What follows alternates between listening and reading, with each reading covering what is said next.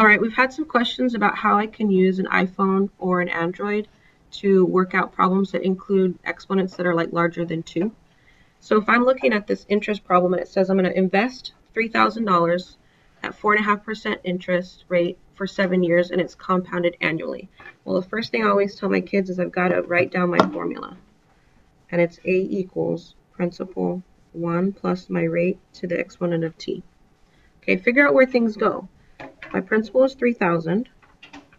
1 plus my rate is, now remember, you've got to move that over, 0.045, and then it's for 7 years. So, unlike a graphing calculator, your calculator on your phone will not use order of operations the way they should. And I'm not even sure why they have parentheses because they don't really do what they're supposed to do anyway.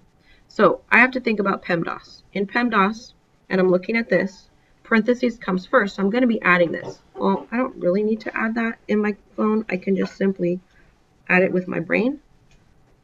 And then I can bring down everything that I haven't used. So I've used P for PEMDAS, which was parentheses, and now exponents is next. So I'm going to take this number, 1.045, and I'm multiplying it by a power of 7. This is where you're using your X to the Y button, which is right there. You press that and notice you have like a little box that kind of goes around it to show that it's been selected. It might be difficult to see.